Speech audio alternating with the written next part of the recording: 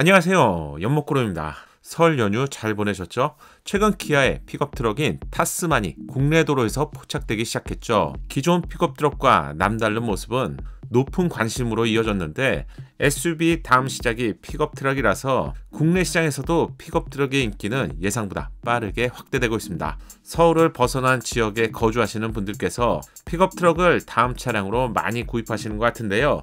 이런 인기 덕분에 쉐보레는 차원이 다른 디자인의 픽업 트럭인 신형 콜로라도를 올해 국내 시장에 드디어 출시하기로 결정했죠. 이 소식을 지난주에 알려드렸는데요. 또한 국산 픽업 트럭의 대명사인 렉스턴 스포츠 와 칸이 있고요. 가성비를 앞세운 픽업 트럭으로 꾸준히 사랑을 받고 있습니다. 이런 가운데 기아가 먼저 선전포고를 한 것이죠. 기아는 최신 디자인 look을 정한 픽업 트럭의 상표권을 이미 오래전에 등록해 놓았는데요. 타스만의 출시 예상 일정은 내년인 25년도로 알려졌습니다. 하지만 좀 더 일찍 출시될 수 있는 여러 가지 정황들이 파악되고 있죠. 특히 타스만은 시기상 두 가지 powertrain으로 출시가 된다고 알려드렸어요. 기아가 Investor Day를 통해서 EV 라인업에 대한 발표 자료에서 14개 EV 모델에 바로 타스만이 포함되어 있다는 것을 알게 되었고요. 지금 보시는 이미지의 EV 픽업 트럭이 바로 타스만의 존재를 알려주고 있습니다. 이런 가운데 그럼 현대차는 픽업 트럭을 만들지 않나요? 이런 문의가 채널에 늘어나고 있는데 드디어 실체가 포착되었습니다. 현대자동차는 이미 미국 시장에 소형 픽업 트럭으로 산타크루즈를 판매하고 있죠. 팰리세이드만한 사이즈의 픽업 트럭이라서 국내 기준이라면 소형급 픽업 트럭은 아니잖아요. 이렇게 생각하실 수 있지만 픽업 트럭은 이 정도 사이즈가 소형급입니다. 그럼 현대가 만들 픽업 트럭의 가능성부터 체크해 보시죠. 항상 카더라가 많지만 양산차까지 출시되지 않는 차량들도 있다 보니 기다리다가 힘이 빠지는 경우가 많은데요. 호주 시장에서 아이오닉 10이라는 이름으로 지난 9월 달에 상표권을 출원한 것이 확인되었습니다. 그런데 갑자기 왜 북미도 아닌 호주입니까? 이렇게 생각하실 분들도 많을 것 같은데 픽업 트럭의 needs는 호주 딜러를 통해서 확인이 되고 있고요. 기아 픽업 트럭인 타스만도 호주 딜러를 통해서 구체화가 된 차량이죠. 이번에 현대가 만들 픽업 트럭인 아이오닉 T10도 호주 특허청을 통해서 먼저 확인된 것이죠. 등록자는 현대 Motor Company로 되어 있고요. 그런데 좀 놀라운 점이 있습니다. 아이오닉 T10이라면 아이오닉은 차량의 등급과 크기에 따라서 이름을 결정하잖아요. 아이오닉 T10은 지금까지 출시된 아이오닉 5, 아이오닉 6, 이보다 훨씬 큰 차량으로 예상되고요. 올해 출시를 앞두고 있는 대형 전기 SUV 아이오닉 7보다도 상위 포지션의 차량으로 대형 픽업 트럭으로 출시가 예상됩니다. 그리고 아이오닉 T10에서 T는 바로 트럭의 약자가 될 것 같네요. 대형 픽업 트럭이라면 미국 시장을 정조준한 픽업 트럭의 성격임을 알 수 있는데 미국 시장에서 가장 높은 판매량을 차지하는 차량이 바로 픽업 트럭이잖아요. 이렇게 된다면 현대차는 적어도 전기차 시장에서는 대중차 브랜드를 포함해서 프리미엄 전기차까지 맞먹고 있는 상황이라서 픽업 트럭 본좌라고 할 수 있는 미국 시장에 대형급 픽업 트럭을 내놓는다고 한마디로 자신감을 보여주는 부분이라고 할 수 있겠네요. 좀 더 세부적인 정보를 알기 위해서 호주 특허청에 직접 검색을 해봤습니다. 아이오닉 T10으로 검색했는데요. 등록된 현황을 볼 수 있네요. 검색 결과는 이런데요. 등록된 영역을 보니 자동차, 전기차, 하이브리드, 덤프차 같은 다양한 활용성을 고려해서 등록이 되어 있습니다.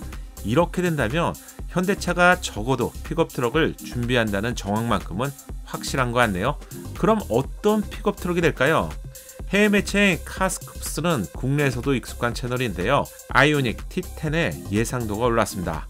아이오닉 시리즈의 특징을 살린 픽업 트럭 예상도라서 현재 시점에서는 그냥 가볍게만 참고하시면 좋을 것 같네요. 타이틀이 인상적인데요. 새로운 현대 EV 픽업 트럭은 아이오닉 T10으로 명명했고요. 포드 F150의 크기에 2년 내에 미국 시장에 데뷔한다는 것인데요. 포드의 F150은 그냥 미국의 픽업 트럭 그리고 글로벌에서 최고의 픽업 트럭을 대표하는 차량인데 이런 차량과 견주게 된다고 흥미로워지는데요. 10이라는 숫자는 기아 EV9과 아이오닉 7보다 위치에 있어서 위에 있고요. 크기에 있어서도 최상이라는 것이죠. 현재까지 아이오닉 T10에 대해서 알려진 정보는 거의 없지만 디자인은 아이오닉 5나 아이오닉 6처럼 인상적일 것 같고요. 최상위 픽업 트럭인 만큼 전륜과 후륜 모터가 제공되는 사륜 출시는 당연하고요. 기본 모델은 후륜 모델을 점치는 분위기입니다. 그럼 2인승이 될까요? 아니면 4인승 차량이 될까요? 기아의 타스만은 패밀리를 고려한 dual cab 방식으로 출시가 되죠. cab이 뭐냐고요? 만약 운전석 1열만 있다면 이 차량을 single cab이라고 합니다. 반면 2열이 제공되면 double cab으로 구분하는데 기아 타스만은 double cab으로 확인되었죠. 따라서 4명이 동시에 이용할 수 있는 픽업 트럭이 바로 double cab이라고 할 수 있는데 아이오닉 T10의 크기라면 최소 5m는 기본으로 넘어가겠죠. 따라서 5m 중반에 거의 도달할 것으로 예상되기 때문에 픽업 트럭만의 장점인 적재 공간을 포함해서 2열에도 충분한 실내 공간을 기대할 수 있습니다. 특히 국내 제조사가 실내 공간을 가장 잘 뽑아내는 브랜드이기 때문에 전동화 시대의 픽업 트럭으로 글로벌에서 승부수를 띄워볼 만한 것 같네요. 그럼 아이오닉 T10의 플랫폼은 어떤 플랫폼이 될까요? 채널에서는 내연기관 시대를 포함해서 자동차에서는 플랫폼이 가장 중요하다고 알려드리고 있는데 전기차의 경우 EGMP 플랫폼으로 제작이 되고 있죠. 현대는 아이오닉 5, 아이오닉 6, 아이오닉 7이 EGMP 플랫폼이고요. 기아는 EV6, EV9이 EGMP 플랫폼입니다. 그럼 다른 전기차는 어떠냐고요? 여러분이 알고 계신 뭐 니로, 코나, 캐스퍼 같은 경우 기존의 소형 플랫폼을 개선한 전기차이죠. 채널의 예상이라면 현대차 그룹이 2025년부터 EGMP 플랫폼의 next 버전이라고 할 수 있는 EM과 ES 플랫폼을 제작하고 있다고 발표했었죠.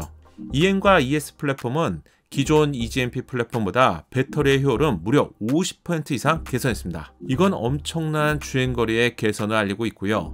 전기차의 핵심인 배터리와 모터 등의 부품을 통합 modular architecture 방식으로 개발한 신규 플랫폼이 될 것 같은데요. 먼저 EM 플랫폼은 현재 출시가 되고 있는 전기차, 즉 EGMP 플랫폼의 업그레이드 플랫폼으로 소형 차량부터 대형 차량까지 적용이 가능하죠. 반면 ES 플랫폼은 PBV, 목적 기반 차량의 플랫폼으로 스케이트보드 형태의 공간의 활용성을 높이는 플랫폼입니다. 따라서 해당 플랫폼 위에 다양한 차체를 올리며 물류부터 배송까지 다양한 형태의 제작이 가능해지는 것이죠.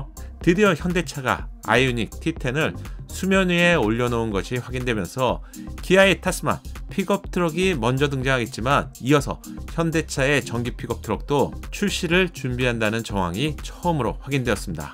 기아의 타스만 정보도 벌써 3년 전부터 여러분께 알려드렸는데요. 최근에 들어서 양산차도 확인이 되었죠. 현대가 만든 아이오닉 T10의 정보도 가장 빠르고 정확하게 알려드리겠습니다. 제가 준비한 영상은 여기까지고요. 정보가 도움되었다면 좋아요로 격려해주세요. 구독과 알림 설정을 통해서 다음 영상도 놓치지 않고 빠르게 만나보세요. 감사합니다. 작은 도움이 되셨다면 좋아요 부탁드리고요.